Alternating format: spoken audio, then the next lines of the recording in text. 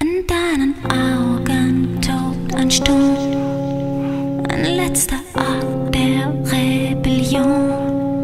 Doch deine Flügel sind zerbrochen und deine Seele leidet Not. Dich zu erlösen wäre wohl besser, denn in Gedanken bist du längst schon tot.